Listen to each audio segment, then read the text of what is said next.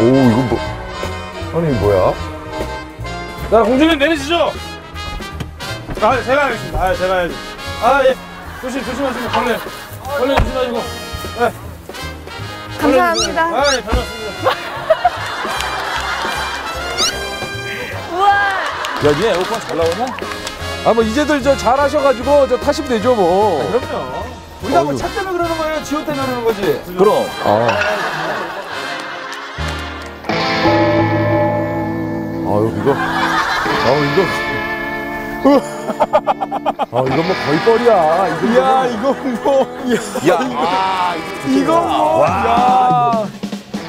심지어 이거는 물을 닫은 거예요. 아 여기다가요? 예. 정말 야 오늘 제작진들 작정하셔서 대박이다. 보시면 아시겠지만 여러분 여기 문을 닫은 겁니다 지금.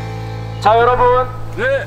드디어 지효 여왕님께서 입장하고 계십니다. 박수로 맞이해주세요. 자, 박수로 맞이해주세요.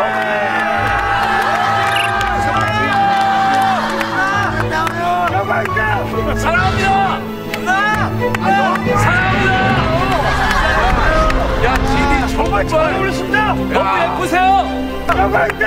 사랑합니다.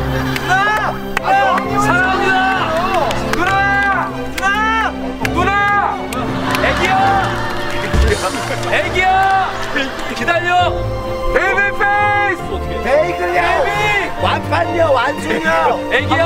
한판다. 완소녀, 완소녀. 너 없이 못 살아.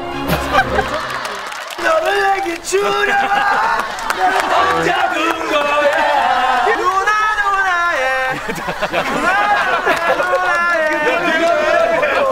누나 내 여자니까.